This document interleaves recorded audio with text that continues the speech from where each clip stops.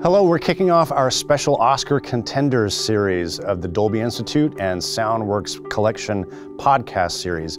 Uh, I'm here with Mark Ulano, who is the president of the Cinema Audio Society. Pass, I just turned out, so I stand corrected, he is the former president of the Cinema Audio I did, Society. I did the full terms possible. And Karol uh, Urban is our new president. okay, Karol Urban is coming I'm in. now emeritus. Um, so, But I am president of the Sound Local, the, sound, uh, the longest sitting president of all the West Coast IA locals right now. well, there you go. Fifth, fifth term, 15 years. Can't believe it. So, Sorry. Mark, usually um, for these special Oscar con- conversations, we kind of have a roundtable with all the people who are nominated on a particular film. But because Mark is double nominated this year, uh, up for two Oscars, one for uh, uh, Best Sound Mixing for Ad Astra, and then another nomination for Once Upon a Time in Hollywood. I thought it would be fun just to ha- kind of feature you and make you the star of the show and have a Wow. have just a sit down conversation with you about your art and what it's like to get two Oscar nominations in one year. Okay. So, congratulations and welcome to the show. Thank you. Um, let me kick off with uh, so Ad Astra and Once Upon a Time in, in Hollywood. So, you're, you're Brad Pitt's best friend. It's, uh, those are our second and third movies with him. Uh, the first being Inglourious Basterds. And uh, I can only say it's an incredible privilege because he's an absolutely dedicated, committed professional. And you couldn't imagine two more opposite uh, cinema experiences in terms of production and pr- approach and uh, intent and outcome. And um, Brad is central to, to both pieces in so many ways. Um, on Ad Astra, he's also, it's his company producing. He produced the film as well, He produced, um, and he's in every single thing in that, including a lot of wire work and inverted weightlessness and space suits that are, you know, everything that you could imagine that would be physically, um, you know, demanding for a performer. Um, Brad, you know, succumbed to throughout that, and and never, never didn't come completely ready, and engaged and committed and. Uh, you know, all for the project. There was no ego involved at all. It was wonderful. it's great to hear stories like that. It's the truth, you yeah. know. I mean, he's um, he's pretty special. Yeah. Yeah. Well, I tease you, but. Uh, I don't get compensated for that. That's my that's my personal experience with having worked with the guy, you know. And, and if I add up the months, it's, it's a few years of, of production time together. That you've spent with him? Yeah, eight months and ten months, and then I mean s- seven months, and then maybe four. It's a, it's a long duration. Well, I tease, but you know, typically with these conversations, we're focusing on the the post production side of things. But Mm-hmm. you're the production sound mixer on these films. So the the audience for our podcast is it, there. There are a lot of professionals who listen in, but we also have a lot of students and a lot of just film fans as well. Mm-hmm. So if, if you'll indulge me for a second, if we could just take a step back and can you uh, give uh, give our folks just a little bit of an understanding about what a production sound mixer does? Sure. Um, first of all, our primary goal is, is to tell stories. We're, um, we capture performance in a way that basically creates the, the connection between the audience and the characters. So we lay the bed. Um, You'll hear a lot, uh, particularly recent times, of comments regarding, uh, you know, just capture the discrete elements and we'll fix it later. That's actually not a real representation of what happens, at least at the high end. What happens at the high end is we're mixers, we mix.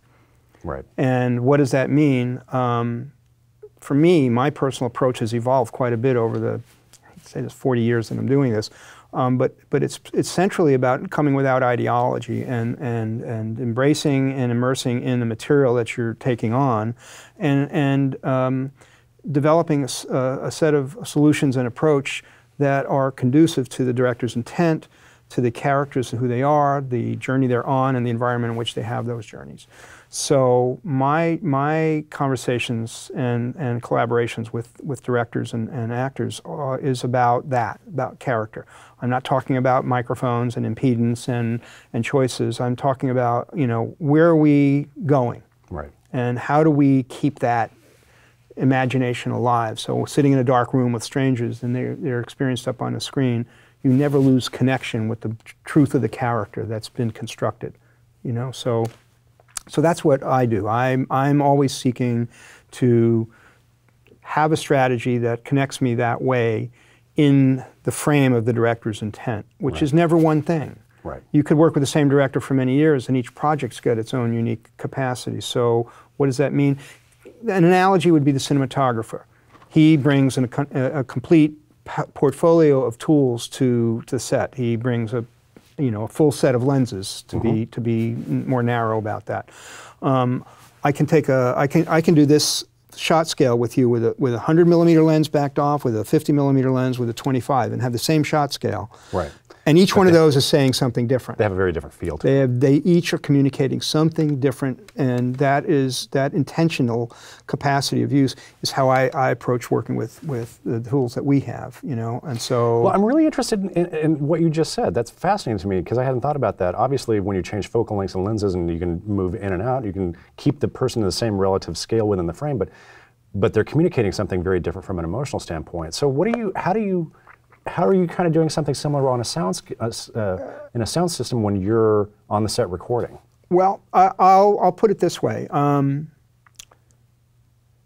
it's not hard and fast, but if I were to give it sort of you know categories, um, and I and I do that carefully, but what I would say it, it really has to do with almost internal and external, first person, third person, observational and, and being inside the head, mm-hmm. uh, you know, and you, you may be floating back and forth, but it really is tied to where we are in the story and where we are with the character.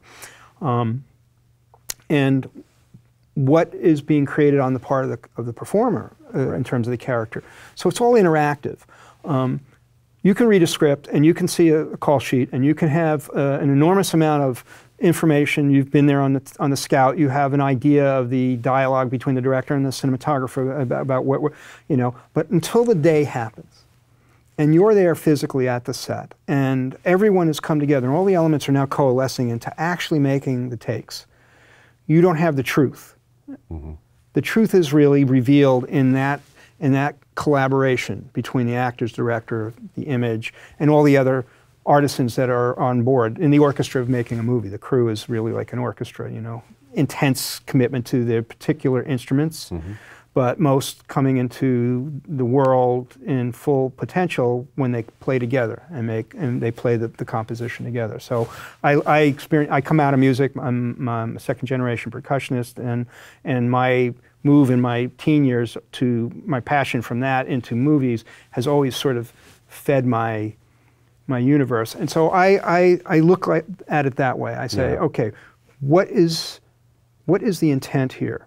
And then I, then I try and develop um, an approach that somewhere in my head, mm-hmm. you know, it's not like I, I, I, get three pounds of close up in my head. I, it's like in my head, I, I hear a thing that, that somehow connects with what that is.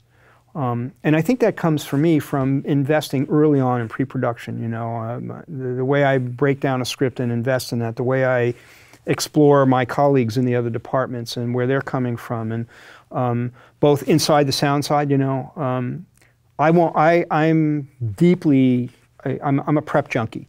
Mm-hmm. You know, Mike uh, Minkler and I, or Wylie and I, are going to get together in pre-production and and go to brunch, and we'll spend four hours going page by page, or five page, or Mark Mangini, or whatever. We, sure. we will go through the work as it is on the page, and then, you know, what do you think? And right. I, you know, I'm kind of thinking that, you know, and and we'll have in this circumstance with this director, speaking of Quentin, a strong instinct about where our contribution will be absorbed and appreciated, mm-hmm. and um, with with the knowledge that nothing's set in stone. You know, this idea may or may not fly, and that all comes out when you're there on the day, and the tr- that truth I'm talking about. Yeah.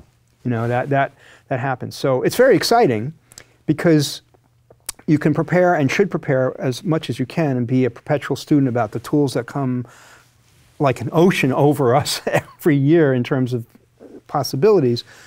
But if you never lose sight that you're in the pro- your job is to tell the story. Right.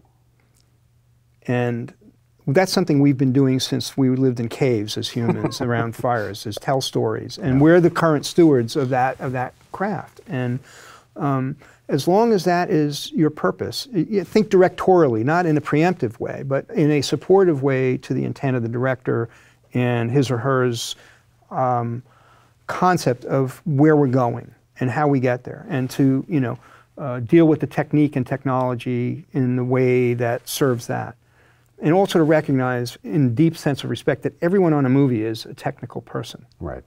I think the most technical work on a movie set is acting. Day one, we're doing the final scene of the movie. Sure. Day 17, it's the first, it's the first shot in That's the right. movie. And then on wrap, you know, it's the, it's the, you know, midpoint of the movie where, you know, the entire story turns. An actor, a journeyman actor, has to be able to calibrate the particular piece that they're doing now so that when it falls into the proper chronology, the character's arc There's makes sense. and it makes How technical Right. is that? That's it's, right. it's profoundly technical and it's invisible. Right. And the great ones, you know, the Sam Jacksons of the world or whatever, you know, that are just, uh, uh, you know, you know, he has a nickname, by the way, you know, among other actors. You know, you know what it is? What's Sam Jackson's nickname? The Beast.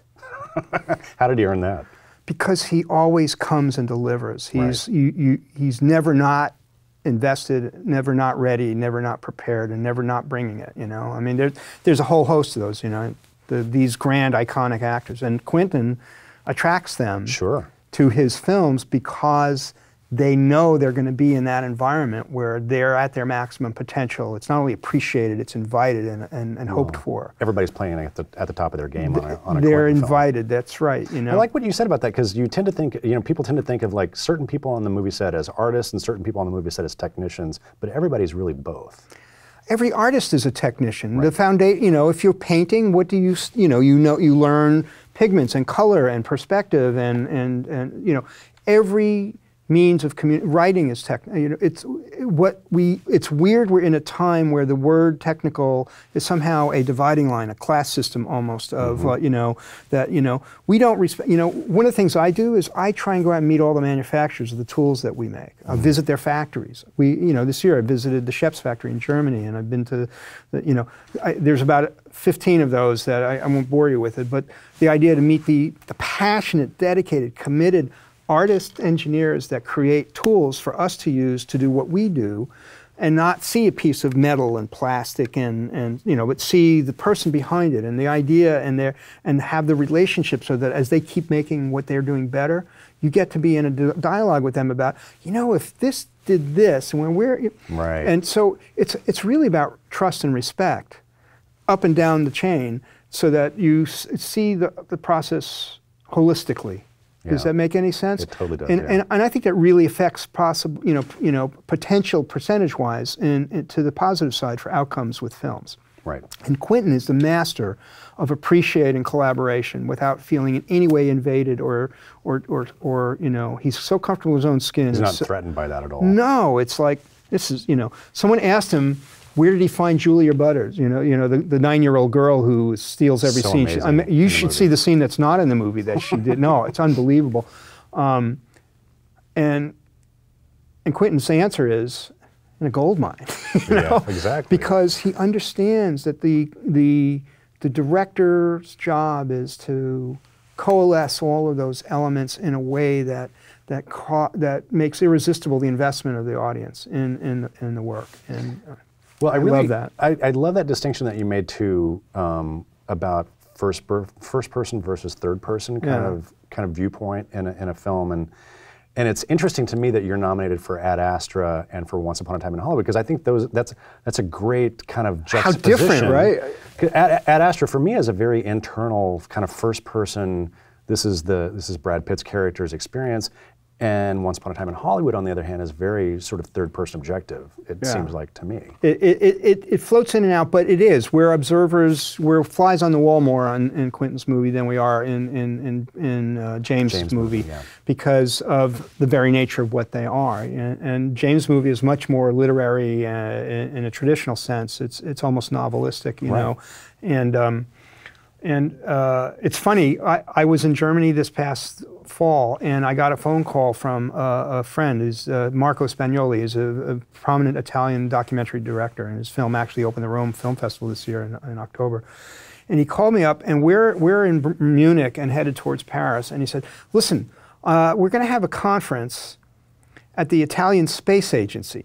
Now, who knows? There's an Italian space. They're nuts for space in Italy. Is you know, he says, and um, I would like to surprise them and see if you would mind, you know, he thought I was still in the States. He says, if you would mind Skyping in as one of the contributors in the panel, Yeah. because we're going to have a screening of the film at the agency with all these scientists Oh, and then talk about, and talk about the movie. Uh-huh. And, and, I, and I said, sure, I'm- I'm happy to help. How can, you know, and so we, we made a date and we're, we're, but it turns out we're on a Friday night at, driving in the in the pouring rain on the autobahn at 140 kilometers an hour, and I'm in the passenger seat, and the guy who's running the whole you know thing that we're doing, there's six of us doing this conf, you know these these uh, seminars in, in Germany and France.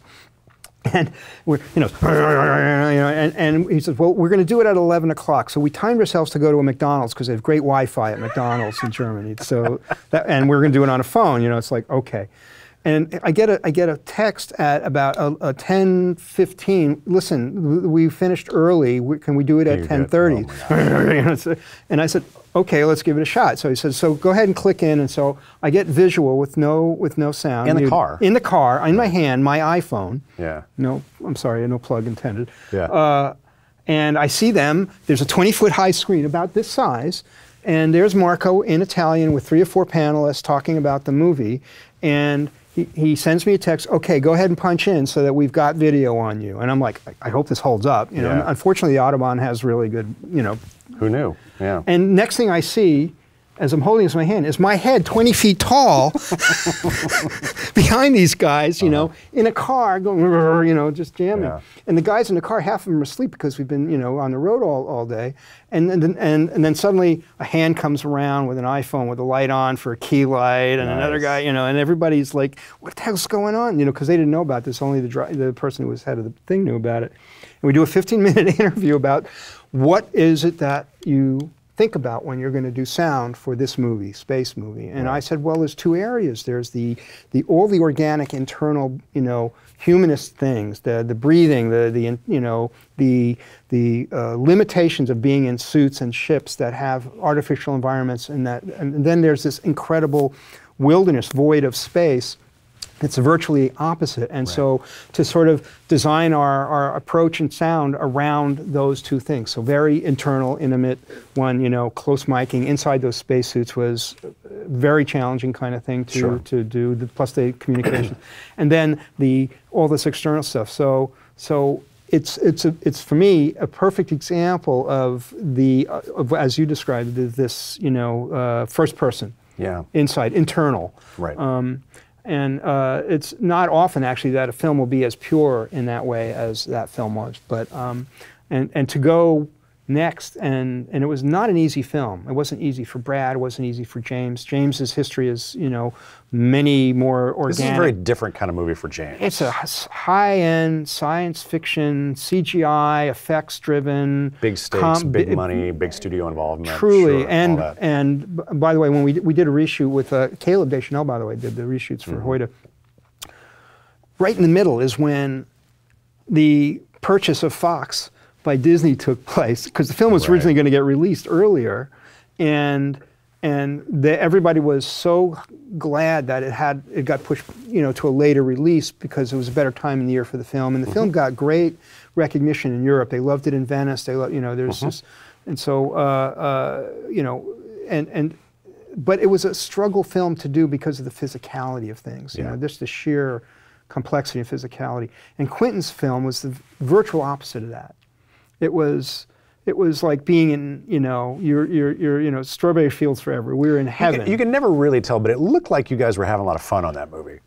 I had friends on that show. The Gaffer and I know each other for 40 years. Bob and I have been working together 18, 19 years. And you've been working with Quentin for 20 plus 25 years, now, years, right? at this point. We, Yeah. yeah. we met on um, we met on Robert Rodriguez's um, Desperado Right. in Acuna, Mexico, which is a very dangerous, you know, drug drug heavy border town.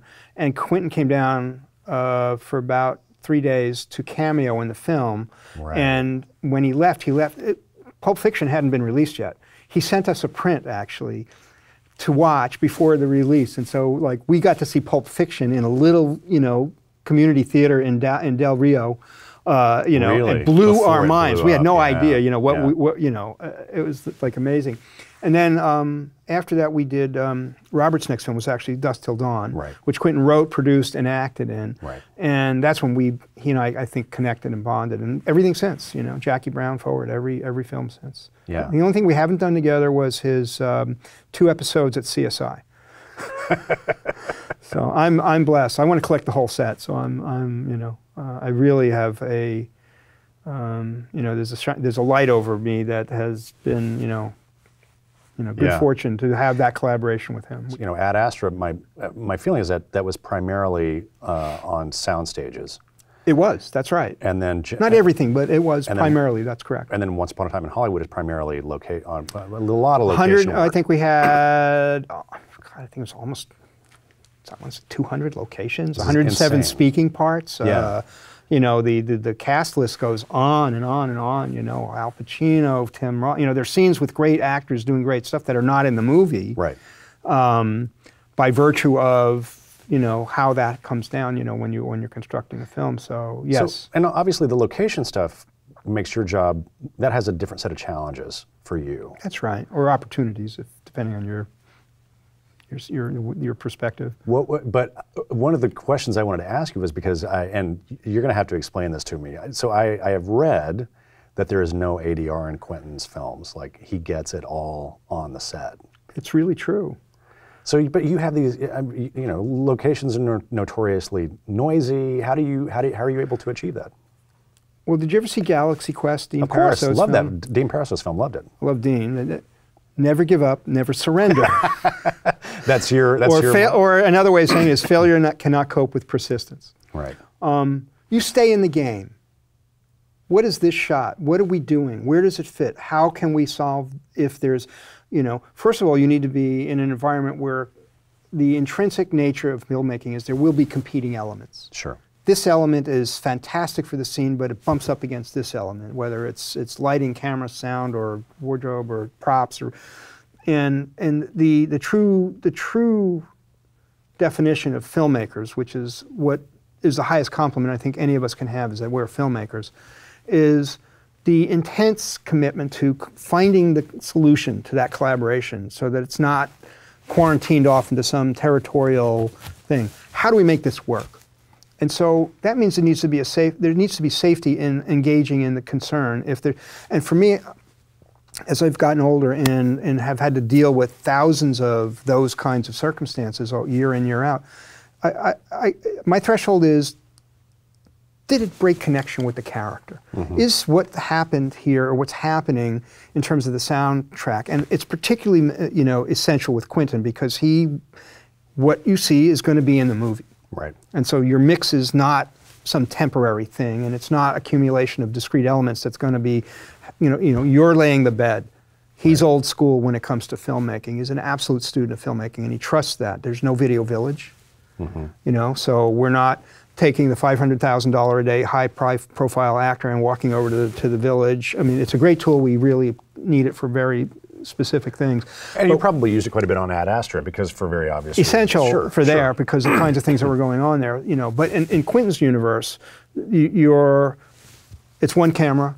It's, it's, it's designed. We have a strong sense of where we're coming from when we get there. The actors have been in rehearsal for weeks beforehand, so they, they, they're not just finding the camera. They're, they're, they're, they've, they've gotten a leap ahead.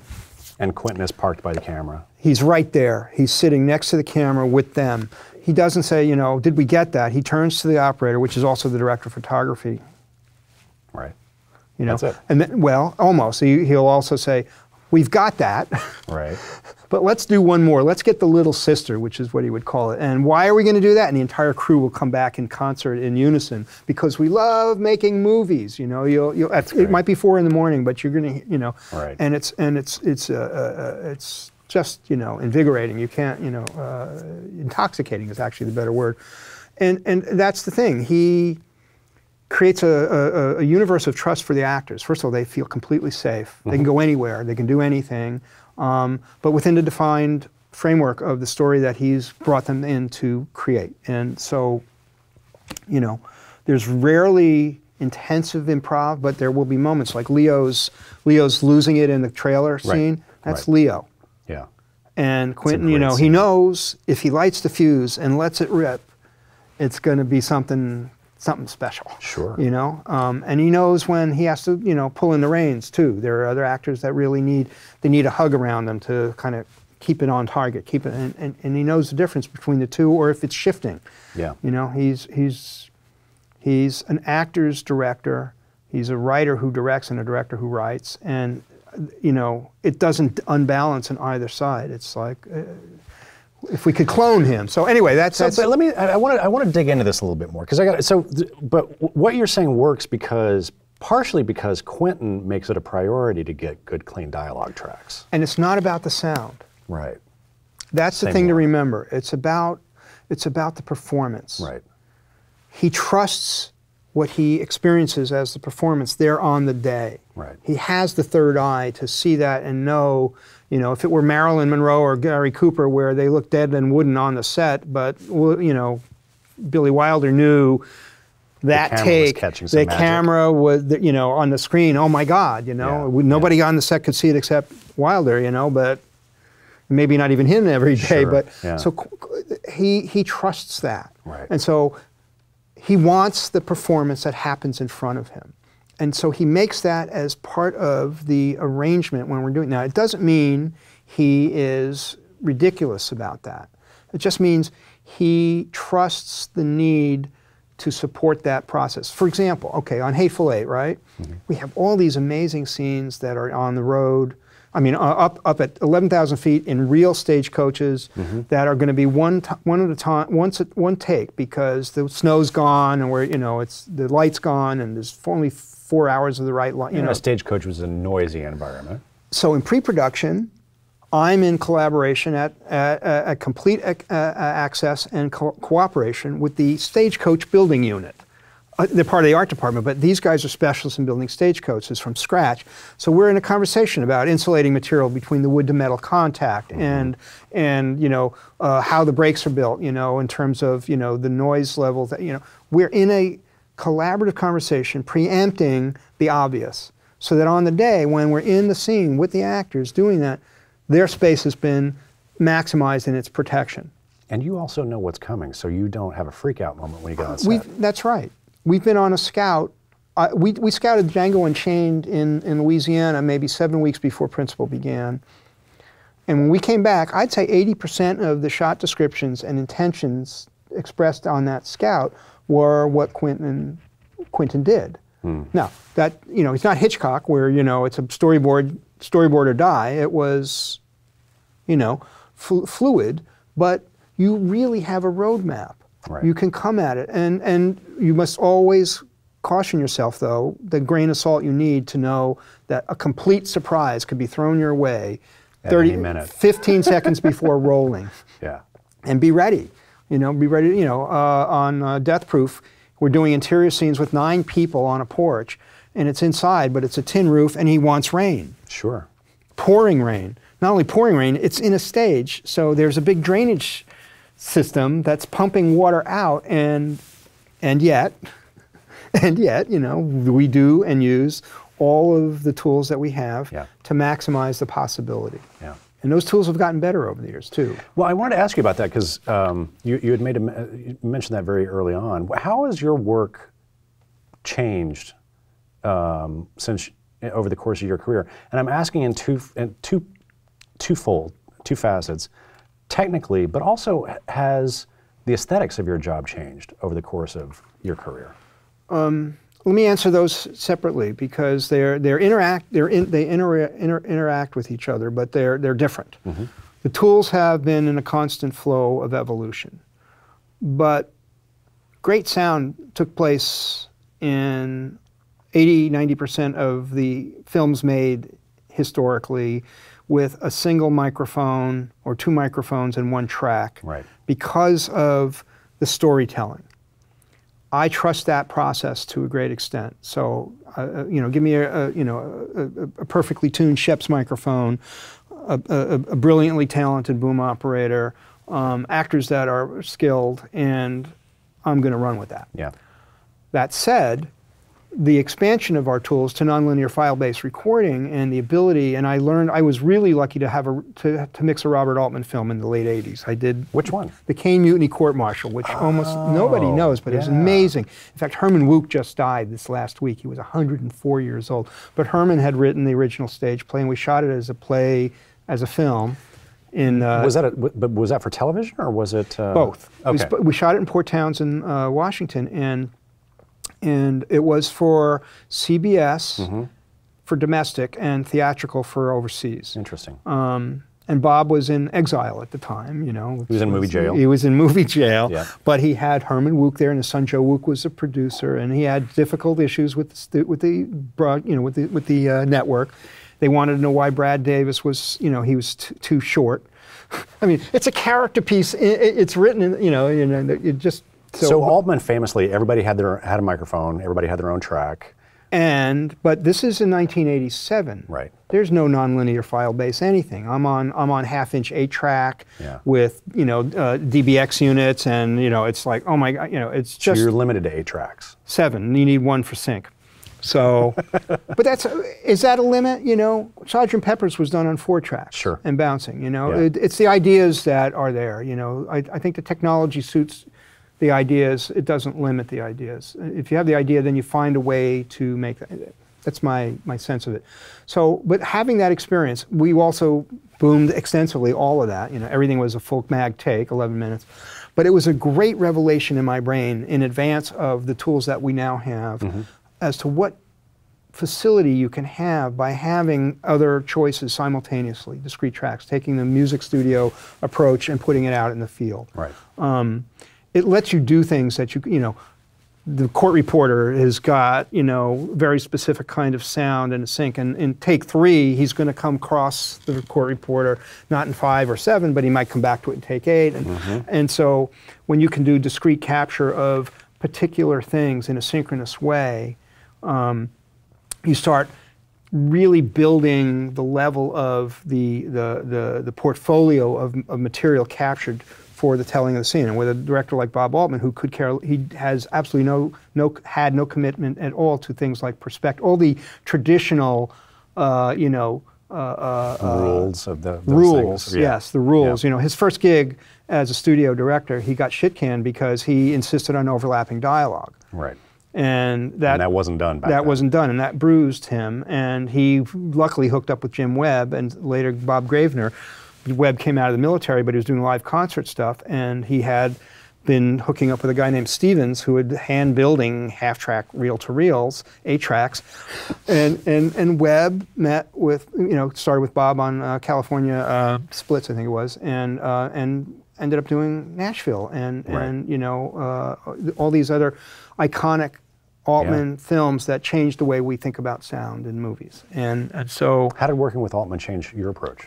This particular piece, first of all, you throw all you think out the window, and this is the key thing that has stuck with me ever since. It started before, but it really, you cannot come with ideology to the set. You must be open and ready to learn, be a student of this project, of this movie, of this shot. Right. Be a perpetual uh, sponge and learner to to accommodate the intent. Don't you know? Once you're on board, you signed on. You're in the merchant marine. You're on the journey. You know.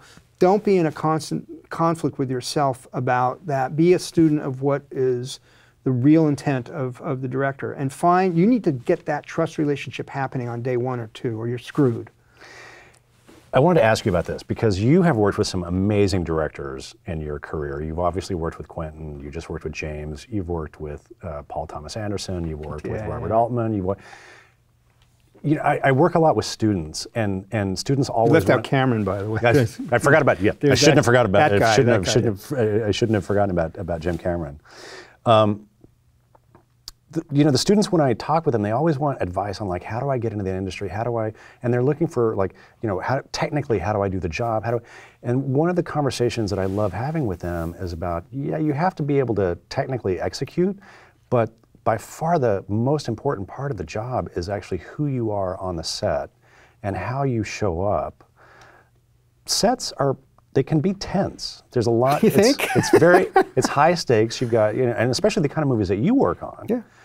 Very high stakes. No margin for error. Sometimes You're- very difficult. You know, directors. especially are- if you have a reputation, because now. and you work with movie stars, uh, and that just adds another layer of. but, but, you know, but uh, it can be a deficit reality if you're not someone who relaxes into the intensity. Mm-hmm. If you're a nervous Nelly, this might not be the line of work for you.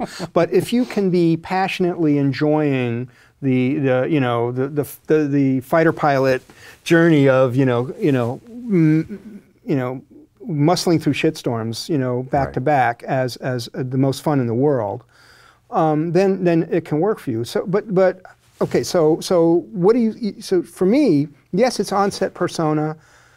You know, for me, it's you know the island of serenity and a sea of chaos is a very useful kind of Sure. comforting thing for. But but but behind that, to get to that, you can't fake that. right. So how do you get to that? Is the other piece of advice that I try to get. We teach a lot. I, I do a lot of workshops around around the world, frankly, and and. Uh, and I think it, it, it comes down to a few things. And this goes back to, to, to being a musician. First of all, get good. Right. Be, be a relentless, perpetual student. You know, Segovia and, uh, uh, you know, all the great musicians were pra- still practicing every day in their 90s. Why? They Practice wanted, your craft, They right. wanted to get better. They wanted to stay relevant. They wanted to stay facile. Become fluent in the instrument, but don't mistake technique for art. Technique is foundational to art. So what does that mean? It means become a filmmaker. Be, a, be an absolutely dedicated student of film. See every film you can possibly see. See films that fascinate you, that puzzle you, that, that you hate, that you love. Become a reservoir uh, of, of the literature of that as a foundational point of departure because you're a part of that continuity ultimately. Right. If you survive career wise into being given the, the, the, the privilege of participating, your work today. I, was part of a, a, you know, up at the Egyptian or last year. We, Petrushka and I, were part of a of a, of a panel on on uh, Cujo and the and Pet Sematary as these iconic, you know, I, I'm, I like when we did those. 80s, mo- 80s horror film. We- you, you didn't think you were working on something iconic when you did those, my right? first film for Roger Corman was Slumber Party Massacre, you know, and it was directed by Amy Jones Chapman, Michael Chapman's wife, and written by Rita, Mae- Rita Mae Brown, the the, the, the famous Rita Mae Brown Rita-? The, the, the famous feminist Yeah, author, yeah. and the the fundamentals of Roger's film was every 15 minutes, some 16-year-old nubile woman would be murdered with a power drill, and that, was you know, including the pizza delivery guy, you know, so. Um, but it created for me in those days. I suddenly I was at Rogers for a year. I was with the last generation of what I call Rogers Graduate School. Right. You know, so many people came through there, and their careers emerged because he put them under load in real in real terms, and they came out of there. And I I- Battle you know, tested and ready. I was at 27. I had six or seven features on my resume. You know, out of nowhere, and I knew not a soul when I came to Los Angeles. Nobody. I, it was like you know, and so we graduated to Cannon Films after that. You really moved up in the world. I've, I've talked with Roger about this, you know, because he would sit at night in the, in the in the dailies room with the, the DP, the director, the mixer, and and everybody else, and he would teach. You know, if we did this, you know, and director, can I get a helicopter? No, you can have a ladder, you know, but you know, but you were really making movies right. with authority over you, having to deliver a schedule on time. You know, you were not in some hypothetical. Mm-hmm. And he created that. And then he sold it, you know, and, and that went away, you know, it, it stopped happening. So I, I really feel fortunate because it coincided with my generation. Uh, we're really the first Hollywood generation of fine arts majors to come into the crafts. Before us, it was father to son, closed shop, and all the rest Right. of that. Sort of a bunch of litigations in the 70s that sort of broke that sort of open. But we were sort of like the, uh, um, the English majors of the 50s. Yeah, that's right. We were the film majors of the of the 70s coming into into professional realm in, in the 80s. So it's a special community actually of people who, who are now we're now the old guys. How that I don't know how that happened, but you know it- it's it's the way it works. It's the way it works. So uh, I hope that answers that. I mean, yeah. I, Yeah. kind of got off into a. a no, I, I really, I really, I, I really appreciate that. so, It's- so for students, let me let me Yeah. bring that back around. It's this thing of um, approach your your education holistically. Be respectful above and below your station in any circumstance that you're in. Mm-hmm. You don't know that that third that third you know electrician isn't going to be the head of the studio in two years because of the, of, the, of his incredible talent at writing. You don't. You come from that place of mutuality and respect, and bring that onto the set. Don't let your fear and your anger drive your daily work. Set your ego, have an ego, but channel it to the work, mm-hmm. to the project not to some sense of your personal sphere of, of jurisdiction, of territory. Yeah. You know, if you can stay selfless in the pursuit of yourself, you know, the, the Spencer Tracy dictum, I'm paraphrasing, you know, you know, I, I- you know, take your work very seriously, but don't take yourself so seriously. You can survive because now you can adapt like musicians, session players do, to all the different leaderships that they have to engage in to become, you know, fluent. Fluent in your instrument, but fluent in your, your, your diplomacy, so that you not only can survive, but that you can en- enjoy. If you don't project a sense of enjoyment that's genuine, that's authentic, um, y- this isn't the thing. You're going to be working 80, 90. It's ridiculous. It's completely uncivilized working on movies. You It's know? true. And if you don't have that sense of joy about your work, you're probably not going to get invited to come back again on the next one. Uh, by all means, you know, and you're not going to be that good Right. because you're going to you're going to become you know dogmatic about approach. Can't do it that way, you know. That you know they can't overlap. What do you mean they can't? Oh yeah, Right. see ya. You know, um, not only can they overlap, but you better get that in ways that are absolutely functional for the storytelling that's happening with that. Because you never Do it know. great. Don't just do it. Do it great. This director may completely change the form with what they're with what they're No doing. question. Yeah. No, you know, so so be open to the possibility of of discovering something new. That's Right. what art's about, you know. It's a it's a mystery. You know, what's the line in, in uh, Shakespeare, uh, you know, in Love? You know, it is a mystery. You know, Jeff uh, Rush, you know, Right. it is a mystery, you know, it's, uh, and, and love that mystery. Do you stay uh, in touch with the, the post production teams as they're going as they're mixing the film? Do you, you, you I do. You, I, I, I, in pre-production, yeah. during production, we are a triangle. We're like a stool. Right. You know, um, not everybody sees it that way. Not everyone who does what I do sees it that way. But uh, if you if you look closely, you'll find the you know Lee Orloff and Peter Devlin and Ron Judkins and you know all of all of the we're all of the same age and same journey. We all have that you know fine arts thing about we're here as collaborators, as Right. creatives. You know, the sound area is one of the least recognized as creatives in production. In people for people who you know, why would we want to take the sound mixer on the, on the Tech Scout? You know, we'll tell them. Yeah. Well, maybe it's not just seeing those locations and being a canary in the cave for possible, you know, obstacles to the work, but also to witness the dynamic going on between the director and the and the DP and the first AD and the fights they may or may not have and the ideas that they're revealing and as they're unfolding in the physical presence. You know, there's so much of eh, of inclusion inclusion that that supports the project in ways that are not going to be, you know, something that shows up on on a on a on a, uh, on a, uh, a statement, a financial document. Sure.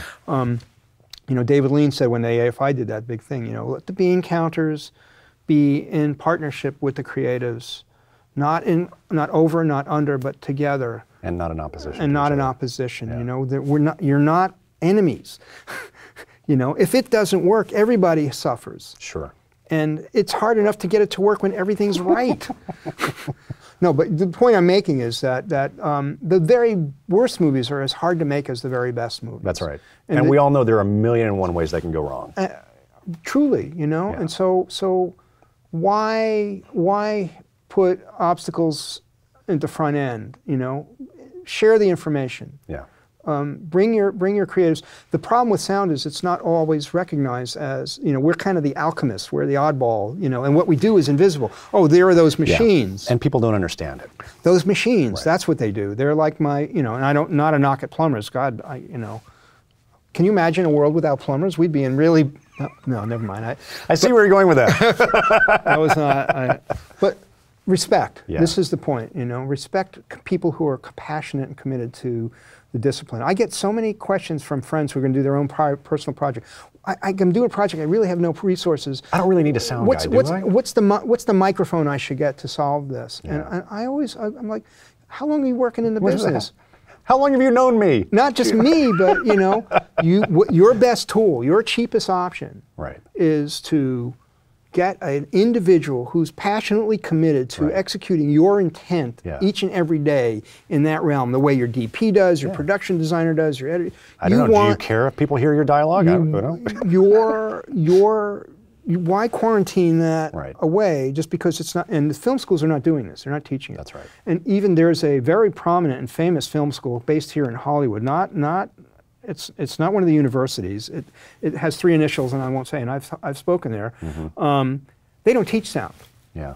they have hundreds of photographs in the halls there. Not one of them has, uh, you know, an iconic sound pioneer or creator. Yeah. Um, they hire sound people to do their student films. That's right. Instead of teaching what is a profoundly, you know, significant career. A boom operator, first-rate AAA, they're they're at six figures a year in in in, uh, in a career. You know, Uh, th- this is not we're, we're, you know, so so it's a weird disconnect in Hollywood in in that way sometimes. So I probably treaded on some toes there. I just have one final question for Sure. you. Are you religious about getting room tone? No, I am not. I had been in an era where we were not doing the work the way we do it now. Um, but the truth is, if you speak to anybody who's in post right now, they almost won't ever use the room tone because the room tone, we've done the scene from 9 a.m. to noon. We broke for lunch and then we came back at, at 1.30 and now the traffic's different out there and the The, lights room, are the tone changes right through the day. Sure. and it's always an approximation. It's, it it ha- has been sort of a iconic special tool, but the way room tone's done today is they go into the scene and they find all of the spaces between the words in the scene and they build the tone from the scene itself. So it's absolutely invisible when it's applied. And it's a much better approach to making room tone. So there will be times where there's a unique thing that you need thing to get. that right. is particular and signature to an environment. And in that circumstance, yes. And there's another piece that I'll do now that I wasn't doing then, which is depending on what the nature of the scene is, I will also do simultaneous synchronous effects and ambience recordings in 5.1, separate from the scene. Oh, really? To build, if, if there's something environmentally that's significant. Can you give me exa- an example of uh, Hateful a Eight. We, you know, you know, we're in all these wilderness spaces, and there's a kind of special silence. Sure. and and you know, in that movie, also the wind was a character and an, an orchestration. The wind was was almost, in many ways, the score of the movie. Mm. And we would create versions of wind everywhere. There's 30 different kinds of snow and wind, and it was my biggest worry about that film. But I also tested extensively with iZotope in those days, which Mm-hmm. evolved quite a bit since then. But it was still you know, those days, I mean, it was four years ago, five years ago. Um, the idea that we could mitigate specific things that in the past would be unimaginable is a tool we have now. And it's essential for production people to be knowledgeable about that evolution in post, to go sit in the mix in the mix Sure, stage, that's right. to understand, to go to symposiums about the teaching of those things, even if they're designed around the post community. Know your tools, know your instrument. You know, know know the drummers have what two? I don't know if you're a musician or not, I'm but not, no. okay. Well, in drumming, there's two grips that are dominant. You know, for for conventional drumming, one is called the conventional grip, which is two different axes, Sure, and the other is match grip, which is like mallets, but a lot of rock drummers do. You know, and so there's there's this endless debate, like Betacam, you know, uh, VHS, Right. Which is, and the answer is. Dummy, it's both. You Sure. need both. They each have function. They each have application. different and they do different things, and you're fully you're fully equipped if you know fluently both of those both of those techniques because they have specific purposes and they're not the enemy of each other. It's crazy to to to you know. So that's the kind of thing that film students should. There's a uh, this is a big generalization, but there's a potential for film students to have a, um, a bias mm-hmm. about the process, about themselves, about what is, you know, and, and sometimes that gets very much in the way of the outcome. And it's, it's really, to, you know, this idea of learn how to be selfless in the project. And yourself will emerge through that selflessness. It's a very Zen kind of thing, but, but uh, it, it's really true. Yeah. You know, a Bob Richardson, you know, who is Sure. this, you know, 10 times nominated, three Oscars, and, you know, and nominated again. and, yeah, this is the 10th time. And, and Qu- Quentin calls him Oscar Richardson III, you know. Uh, that's his nickname on the set. Uh, I'm the bear, which I'm trying to move away from because it's not for good reasons. Um, is is a perfect example of applying that ego towards the project and not towards the self in my territory. These guys have nothing to prove Right.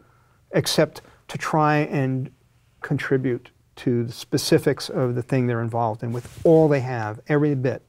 And um, when I see that, I'm, I'm, you know, I'm done. I'm, I, commitment is, is, is, you know, the most sexy thing I can think of on, in the world. Is no, seriously, on, in a film set, when musicians can come together and, and communicate non-verbally, that same thing happens on a movie set. Sure does. And the shorthand of that gives so much so much more resource back to the director, so much freedom of energy that isn't directed around trying to be micromanaging all of these other things because of the trust that comes out of knowing his musicians know how what he's doing and interprets his intent.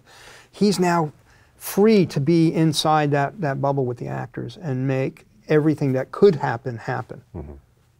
That's great. Well, Mark, I, it's been a great conversation. I hope so. Thank you so much for coming on the show and for doing this. Um, Mark Ulano, congratulations. This is your third and fourth nominations. True. And you uh, won an Oscar previously for Titanic, The boat movie, yeah, that's true. that boat movie. So who knows what'll happen in a couple of weeks at the I had Theater. no expectation. This year is there's so much great work out there. There's the you know that we have music movies, we have Mm-hmm. car movies, we have war movies. You know these are pre- these are predominantly and the and the uh, constituency in the branch which nominates Right. is predominantly post production. Post-production folks, You know it's a, it's a, it's like a 85 to 15 percent. Well, but now it's going to be in the hands of the actors, right? And now, well, everybody, yes, but that's true, and you know, so uh, I don't. I just being, just being sort of kissed and hugged by your your colleagues. It's a is- cliche that the honor is to be nominated, but in the, and with the Oscars, it actually is really true because the nomination true. is coming from your peers in It's your branch. especially in sound, Right. Especially in sound, because the people who do sound, they know. That's right. and they they they're you know. Um, and you know you'll talk to Mike and, and, and Wylie tomorrow and Chris and they'll you know they're they're of the same stripe. They're always looking for the best version of something. They're always trying to feel the the subtleties of mood in the director and anticipate in response by by the old the evolved relationship, Right. and it shows up in the work. I don't I don't know how you feel about Once Upon a Time, but for me it's a transitional film in many ways. It, it's it's about gratitude, um, acceptance, and love, and all kinds of themes that people would never attribute to, to Quentin. But if you look closely at his other films, they're there. But here, it's really. I, I was part of a, a, a Q&A. I'm sorry, I know we're done. But Q&A at the Academy for the Academy screening of the film for the members. Mm-hmm. They turned to, over 200 people away because Amazing. you couldn't get in, and they had a second screening. But at the end of that screening, now that's not a demographic normally you would, you know, affiliate with Quentin's big, biggest fan base. Sure. It's an older group. There, you know, there are other kinds of things. They were enthralled with the movie. They were in love with the movie. You could see it, and and and I I just I don't know. For me, I revere the Academy mm-hmm. because of its institutional history, what its significance is, with its flaws and blemishes and all the rest of that. I love I love the institution as as a as, as a sort of a steward or protector of you know a certain kind of idealism towards making movies, and um, and when when Quentin has, has reached that group, I know I know we're in new Something's- territory. something good has happened. Something good has happened. Yeah. Okay, I'll shut up now. It's been a great conversation. It's been so much fun talking to you. Thank you for having me. I, I, I hope uh, you know. I hope I've been able to contribute something here. Absolutely. I'm here to contribute, not to compete. That's that's you know. Sounds good. And good luck in a couple weeks at the Dolby Theater. I've already had the good luck. Whatever happens now is just gravy. you All know. right. Till next time.